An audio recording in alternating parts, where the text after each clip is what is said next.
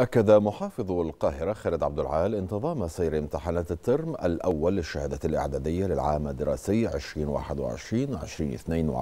دون أي عقبات وأشار محافظ القاهرة إلى أنه تم اتخاذ كافة الإجراءات الاحترازية والتدابير الوقائية لضمان سلامة الطلاب والالتزام.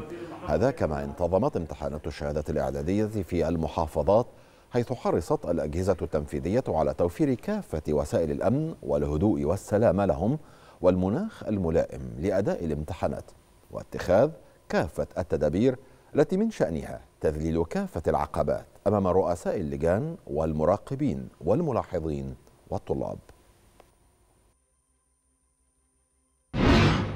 العمليات التعليمية طبعا كلها بنقول إنها تحت اشراف نائب المحافظ وهي موجودة بنفسها مع المدارس ومع اللجان والأمور ماشية كويس جدا. وأنا شفت لو في أي مشكلة عند أي حد الحمد لله ما فيش مشاكل.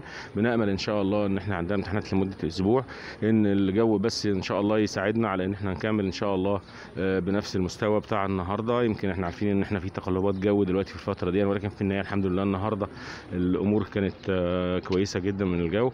ولكن في النهاية أنا عايز أقول إحنا خدنا إجراءات كبيرة امبارح عشان نجهز اللجان لدخول الطلبة سواء اداريا أو لإزالة طبعا مياه الأمطار اللي كانت موجودة ولكن في النهاية الحمد لله كلنا شايفين المنظر الحاله الاداريه متميزة للجان